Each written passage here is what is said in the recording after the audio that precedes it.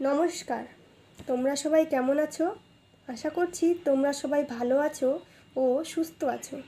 আমি Kaveri Singha, Siliguri primary teachers training college ও Siliguri Terai B Ed কলেজে ডিএলএডে প্রথম বর্ষের একজন শিক্ষার্থী। আজ আমি এখানে যে বিষয় নিয়ে আলোচনা করব তা হলো চতুর্থ শ্রেণির আমাদের পরিবেশ। একক আবহাওয়া ও বাসস্থান, উপ একক কোথায় থাকে তারা? তাহলে দেখে নেওয়া যাক বিষয়টির মধ্যে কি রয়েছে। স্যার বললেন জীবের থাকার জায়গার ছবিগুলো দেখো। ছবিগুলো দেখে তোমাদের কি মনে হলো? তোমরা বইয়ের উনষাট নম্বর পৃষ্ঠায় দেখবে অনেকগুলি ছবি রয়েছে। সেই ছবিগুলো তোমরা দেখবে এবং দেখার পর চেনার চেষ্টা করবে। আয়েশা বলল, সব জায়গা তো আমাদের বাড়ির চারপাশের মতো নয়। কোথাও খুব উঁচু, কোথাও নীল জলে বড় বড় ঢেউ, আবার কোথাও সাদা বরফ।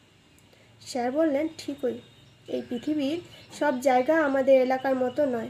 তার মানে পৃথিবীর বিভিন্ন জায়গা বিভিন্ন রকমের। জলিল বলল, উদ্ভিদ আর প্রাণীদের থাকার এত রকম জায়গাও আছে পৃথিবীতে? স্যার বললেন, জীবেরা এত বিচিত্র পরিবেশে বাস করে কি করে, বলতে পারবে কি?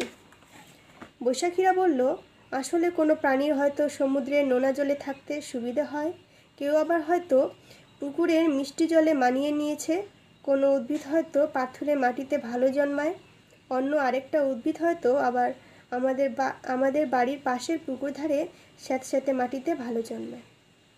স্যার বললেন, খুব ভালো বলেছ। তার মানে যেখানে জীবদের বাস করার অনুকূল পরিবেশ থাকে, সেখানেই সে থাকে। সেটাই তাদের বাসস্থান।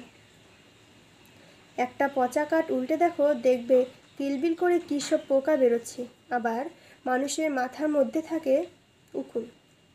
খাবারের নালিতে থাকে কৃমি, গন্ডারের পিঠে থাকে পোকা। এগুলো সবই এক এক ধরনের বাসস্থান। অর্থাৎ জীবেরা যে যে পরিবেশে বাস করে, যে পরিবেশে বাস করতে তাদের অনুকূল মনে হয়, সেই পরিবেশ তাদের বাসস্থান। তেমনই তোমরা লক্ষ্য করেছ, গোবরে পোকা। গোবরে পোকা সাধারণত গোবরে দেখা যায়। অর্থাৎ গোবরে পোকার বাসস্থান হলো গোবর, আবার আরশোলা আরশোলার বাসস্থান হলো স্যাঁতস্যাঁতে অন্ধকার জায়গা। এই কথা শুনে সমী বলল, কয়েকদিন আগে আমার ম্যালেরিয়া হয়েছিল। ডাক্তারবাবু বলেছিলেন যে রক্তে নাকি জীবাণু বাসা বেঁধেছে। ঠিক বলেছ। আমাদের দেহের খাবারের নালি, ফুসফুস, চোখ, কানের মতো সব অঙ্গেই জীবাণুরা থাকতে পারে। বিভিন্ন উদ্ভিদ ও অন্যান্য জীবের দেহেও জীবাণুরা থাকে। ওপরের আলোচনা থেকে তোমরা বুঝতে পারলে যে শুধু ফাঁকা জায়গা হলেই তা বাসস্থানে অনুকূল নাও হতে পারে। তার মানে ফাঁকা জায়গা হলেই যে সেখানে জীব বাস করবে তা নয়। এজন্যই কি মরুভূমিতে কাটা গাছ আর উট ছাড়া সেরকম কোনো জীবজন্তু চোখে পড়ে না। যে অঞ্চলে অনেক জীব থাকে, তারা একে অপরে বেঁচে থাকার অনুকূল বাসস্থান তৈরি করে দেয়। ঘন বন বা সমুদ্রের নিচে প্রবাল প্রাচীরে এ ঘটনাই ঘটে। প্রবাল হলো এক ধরনের সামুদ্রিক প্রাণী এরা সামুদ্রিক অমেরুদণ্ডী সাগরকুসুম নামক এক প্রাণীর ওপর বাস করে। এইভাবে এরা অনেক জায়গা জুড়ে বাস করে বলে দেখতে অনেকটা প্রাচীরের মতো মনে হয়, তাই এদের প্রবাল প্রাচীর বলে। সমীর এবারে ছুটিতে গুজরাটে বেড়াতে যাবে। উত্তেজনায় কয়েকদিন ধরে ওর ঘুম আসছে না। শেষ পর্যন্ত ছবির সিংহকে সিংহকে স্বচক্ষে দেখবে বলে। স্যার বললেন ভারতীয় সিংহ একমাত্র গুজরাটের গির অরণ্যেই পাওয়া যায়। তার মানে গির অরণ্য কোথায় অবস্থিত? গুজরাটে অবস্থিত। এখানেই শুধুমাত্র ভারতীয় সিংহ পাওয়া যায় পাওয়া যায়। এই রকমই আর একটা প্রাণী হলো আসামের মুগা রেশম মদ।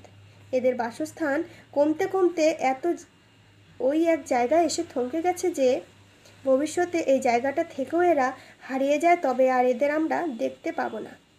তাহলে আমাদের এই জীবের বাসস্থানকে রক্ষা করা উচিত, ধ্বংস না করা ইত্যাদি করা উচিত।